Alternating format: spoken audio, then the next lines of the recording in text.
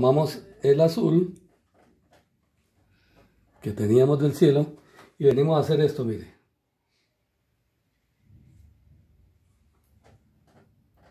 Que no quede tan uniforme, ¿no? La raya derecha no.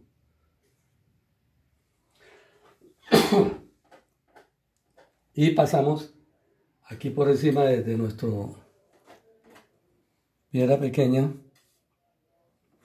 y comenzamos a meterle las onditas del agua.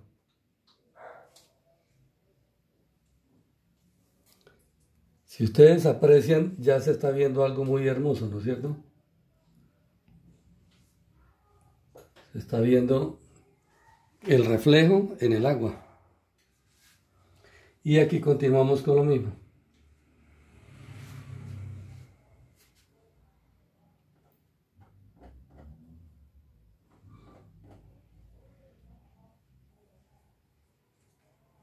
Este es un mar que no está tan, tan embaravecido, está calmadito, por eso podemos hacer estos reflejos, porque en un mar que esté muy agitado, no nos va a botar estos reflejos.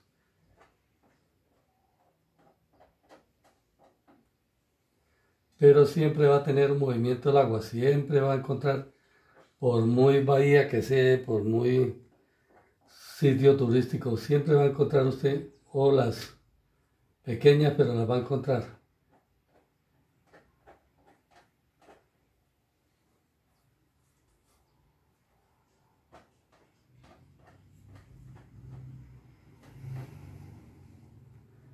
Eh, trazamos con un poquito de blanquito aquí y vamos a hacerle una pequeña luz hacia abajo. De pronto por ahí se está colando una lucecita. Mire. ¿Se dan cuenta? Y por aquí vamos a trazarle otra luz fuerte. Y comenzamos a difuminarla.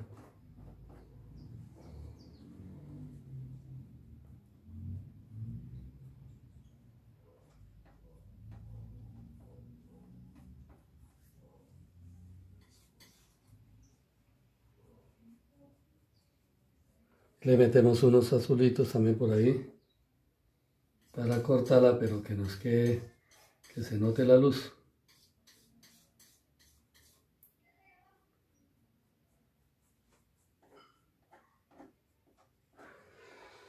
Bueno, ya tenemos esa sensación nosotros de, de, brillo y de todo en el agua, ¿no es cierto? Que se ve como muy agradable. Entonces, volvemos a tomar nuestro pincel, eh, vamos a trabajar la parte eh, superior mm, de la parte superior de nuestra obra. Entonces tomamos un verde, verde viridian, que es el oscuro, y lo arreglamos con un poquito de verde biche es muy poquito. Y nos venimos a colocar ciertos detallitos de verde sobre nuestro risco. Un verde ahí pero colocándolo, mire cómo lo coloco. No lo arrastro. Puede que mi mano no está arrastrando colores, está colocando. Es colocar el color de manera que ese color quede muy bonito. Ahora tomo el verde biche. Si no lo tienen es un verde con bastante amarillo y un poquito de blanco. Hacen la mezcla de ese verde con amarillo y después le agregan blanco y les da un verde biche. Para que lo tengan en cuenta ustedes. Aquí voy colocando como si fueran lamitas que se le pegaron a la piedra, ¿no? No en todos los lados, pero sí bajamos un poquito.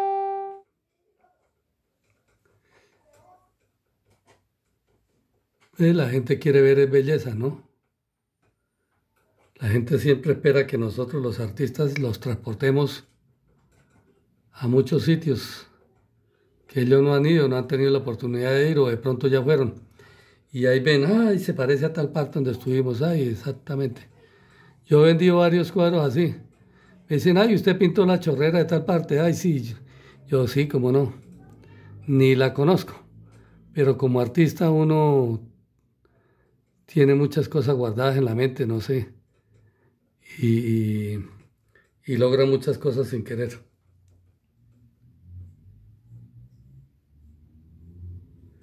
Le metemos unos verdines por ahí así, hongos. Y ustedes ya ven algo ahí espectacular, ¿no es cierto? Como esa piedra se nos llenó de lama. ¿Cierto?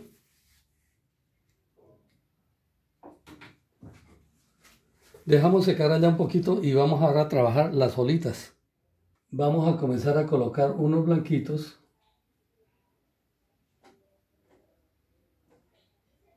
sobre esto. Con la punta del pincel vamos a trabajar esos blanquitos suaves.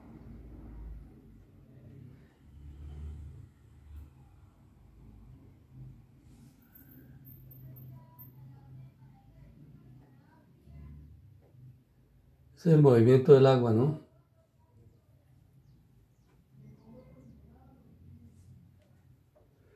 Y a este lado sí ya le vamos a cargar más el asunto.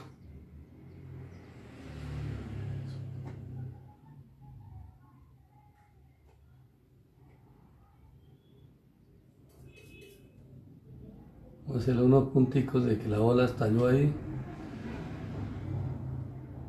se monta sobre la piedra, aquí se está montando también.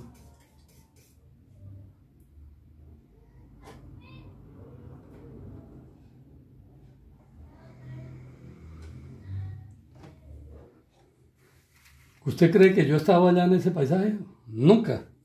Pero me lo imagino porque para eso soy artista. Para eso soy pintor. Me imagino cómo tiene que ser. ¿Usted alguna vez ha visto una ola? Así sea la de un río, pero la ha visto. Entonces eso es lo que vamos a tratar de, de lograr hacer.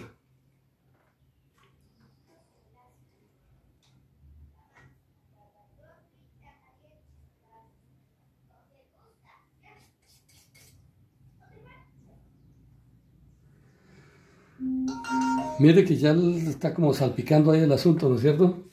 Eso es lo que tenemos que lograr ponemos unos punticos por ahí de que el agua salpica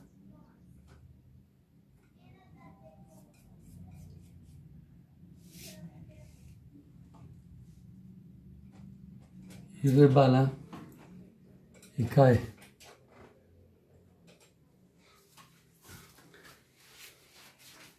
Esas cositas son las que hacen una obra.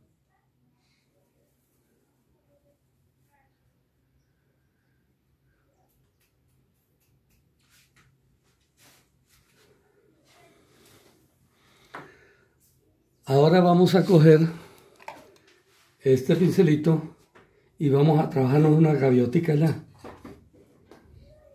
Perdida.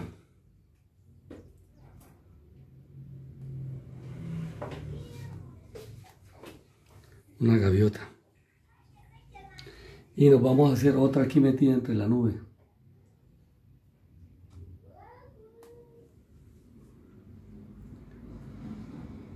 Y otra por aquí en este ladito.